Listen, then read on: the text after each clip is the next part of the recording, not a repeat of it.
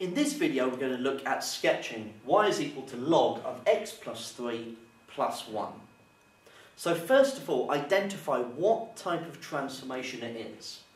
This is a translation of the original curve y equals log x by the vector minus 3 plus 1.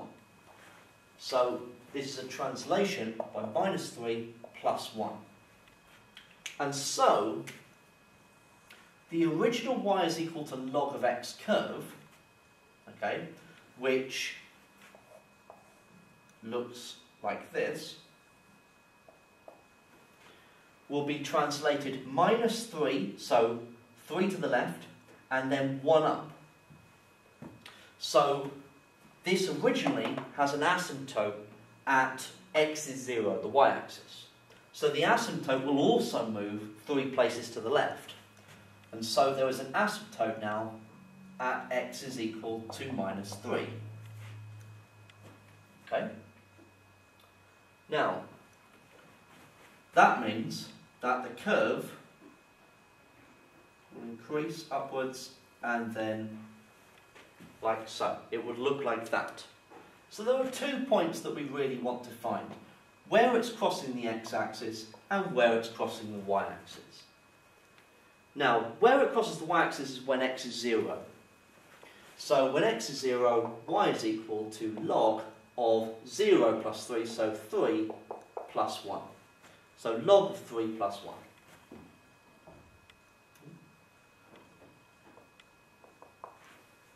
Okay? And then, if you want to find out that point, that's when y is 0. So 0 is equal to log of x plus 3 plus 1. So we've got minus 1 is log of x plus 3. E both sides. And then take 3 from both sides. Okay, so that's e to the minus 1 minus 3. And then you can work those out on your calculator uh, to get decimal equivalents if you like. Now what I also want to look at is the domain and range of this function. So, following on from the previous video, if I'm considering the domain, then that's all the values of x that this graph exists for. So I can see that the curve does not exist to the left of that asymptote. It only exists to the right of it. And so the domain is x is greater than minus 3. Okay? So it only exists to the right of that line.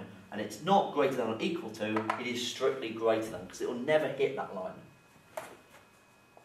The range, in this case, because the curve can go all the way down to infinity here, and then it keeps on increasing, okay?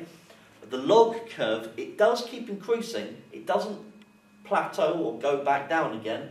Um, it just increases slower and slower and slower. Okay? So the range, it can take any value of y, and so we can say y belongs to the real numbers. And that would be the range for this function.